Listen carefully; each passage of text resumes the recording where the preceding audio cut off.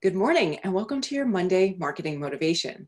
This week's topic is the importance of segmenting your target audiences. You may have heard of the saying if you're selling to everyone, you're selling to no one. And we know this to be true because as consumers, we all want to feel special and understood.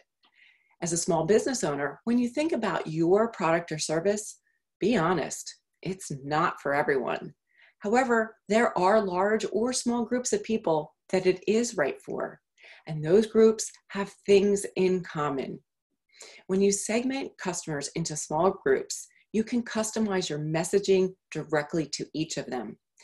And this is important because one of your goals with marketing should be that you want to connect with your customers. For example, let's say you sell a widget that can solve a problem for both a working parent in their 30s and someone that's in their 70s enjoying their retirement can you just imagine how differently you might need to speak to the one that's balancing work and family, especially with the pandemic concerns, compared to how you might connect with someone who's relaxing, enjoying their hobbies, and maybe spending more time volunteering in their community?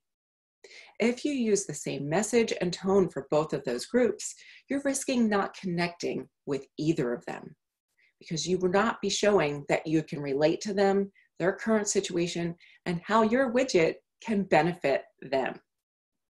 Target, targeted communication can resonate on a deeper level by segmenting and really getting to know your target audiences.